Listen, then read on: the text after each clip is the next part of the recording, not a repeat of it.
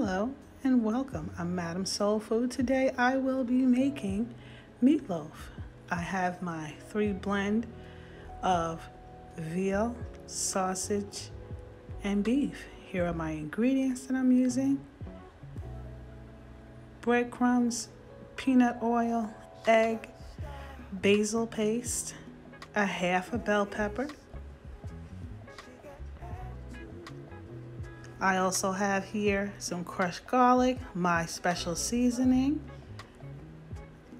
my accent salt below, and a yellow onion. And now I'm going to add my onions and peppers.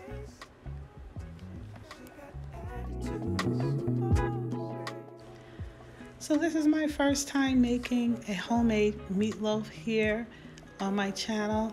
I don't make meatloaves very often, but they are pretty tasty. I'm not going to add a lot of um, ingredients as far as like uh, salt-based uh, seasonings like your, your Lipton onion soup. However, it tastes delicious when you add it.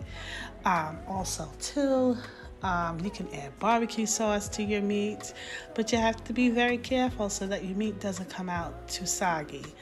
So, yeah, you can add barbecue sauce, you can add steak sauce if you like a steak sauce type of flavoring to your uh, meatloaf.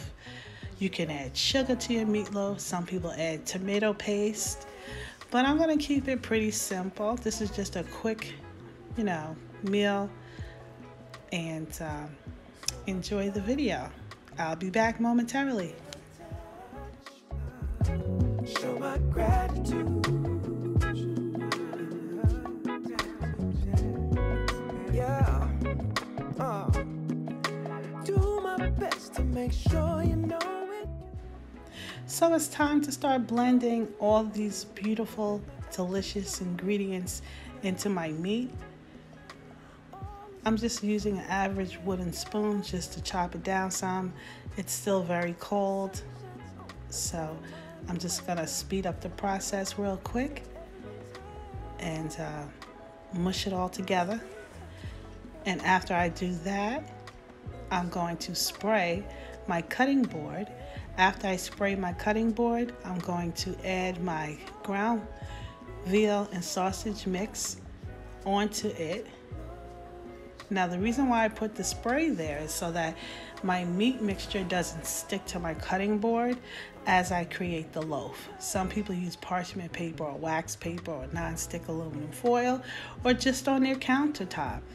But I'm going to use my cutting board. This gives me a little bit more stability and it's a little bit easier for me to, you know, do what I gotta do and easier to clean.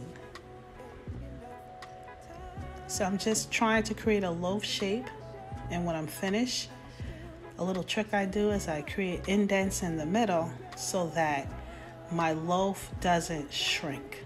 Sometimes it shrinks um, when you're baking it in the oven, but I'll be using an air fryer today. There we go, little baby. Isn't it cute? It's just so adorable. I'm really proud of myself for creating such a nice size loaf.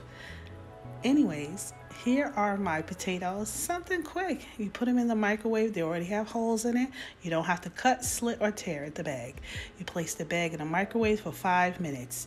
The asparagus, they were frozen, a little wilted, but that's okay. That process was also sped up. I'm going to throw them on top of my stove top griller and grill them for five minutes.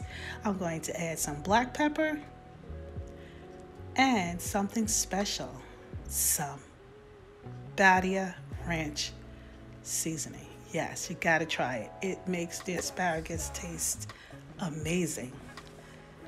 So I'm just gonna roll it around in that ranch all purpose seasoning and then I'm gonna throw it on the stove top. Voila, here we go. So as you can see, um, when you use an air fryer, it's a little bit more brown at the top than using a oven and baking it although my air fryer had a uh, baking, um, you know, button to press, so that selection I used. It wasn't too bad. I baked it at 345 degrees for a half an hour, and then for 15 minutes, I baked it at, I believe it was like 385 degrees. And there we have a simple meatloaf. I'm just gonna slice it up real good. Please like, share, and subscribe. Leave a positive comment if you like. Stay safe and try to think positive because things could be a whole lot worse. Bye bye.